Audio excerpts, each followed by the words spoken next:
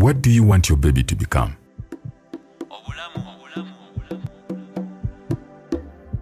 Every parent desires to have a healthy and successful child. It is important to note that this starts before the baby is born. Preparing for a safe delivery is an important step towards having a healthy baby.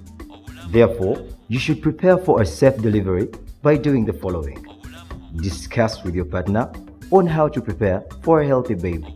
Start saving early and organize transport that you will use to go to the health center.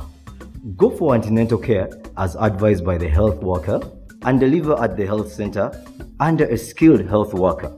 Give your baby the best start in life by delivering at the health center under a skilled health worker.